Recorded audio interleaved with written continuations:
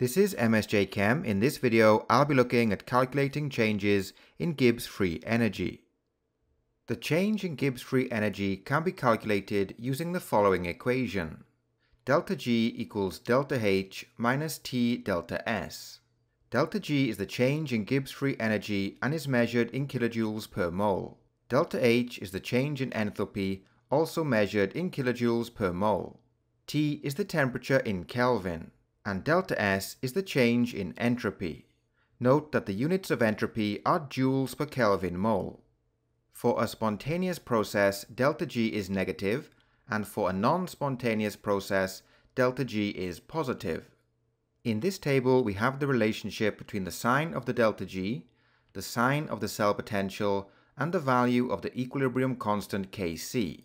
So for a spontaneous reaction, delta G is negative, the cell potential is positive and the value of Kc tends to be large. For a non-spontaneous reaction, the sign of the delta G is positive, the sign of the cell potential is negative, and the value of Kc tends to be small. Next, we look at an example. Calculate the change in Gibbs free energy for the following reaction at 298 K given the following data. So the reaction in question is the Haber process in which nitrogen and hydrogen react together to form ammonia. In this table, we have the standard enthalpy change of formation values and the absolute entropy values of the reactants and products. Note that for nitrogen and hydrogen, the standard enthalpy change of formation values are zero. So let's start by calculating the entropy change for the reaction.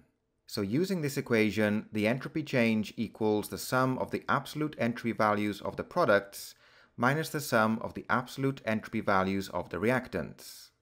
So next we input the absolute entropy values, not forgetting to multiply by the coefficient in the balanced equation. This gives us a standard entropy change of negative 198.7 joules per Kelvin mole. Next, we'll calculate the standard enthalpy change for the reaction. So the enthalpy change of the reaction is equal to the sum of the standard enthalpy change of formation values of the products minus the sum of the standard enthalpy change of formation values for the reactants, which gives us a standard enthalpy change of negative 92.6 kilojoules per mole. The next step is to input the values for the change in enthalpy and the change in entropy into this equation. So that's negative 92.6 for the change in enthalpy. The temperature in Kelvin is 298. And we have the change in entropy, which has been divided by 1000. We do this to convert from joules per Kelvin mole to kilojoules per Kelvin mole. So this gives us a value for the change in Gibbs free energy of negative 33.4 kilojoules per mole. The negative value for the delta G means that the reaction is spontaneous at 298 Kelvin.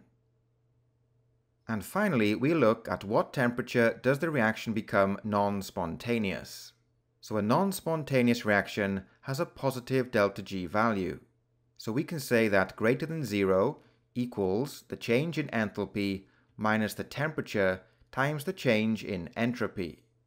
When we rearrange the equation, we get the temperature at which the reaction becomes non-spontaneous is equal to greater than the change in enthalpy divided by the change in entropy. So this gives us a temperature of greater than 466 Kelvin. To check our answer, we can put this temperature in Kelvin into the equation.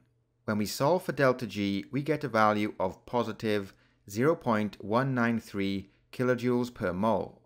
This positive value for the delta G tells us that the reaction is non-spontaneous at temperatures greater than 466 Kelvin.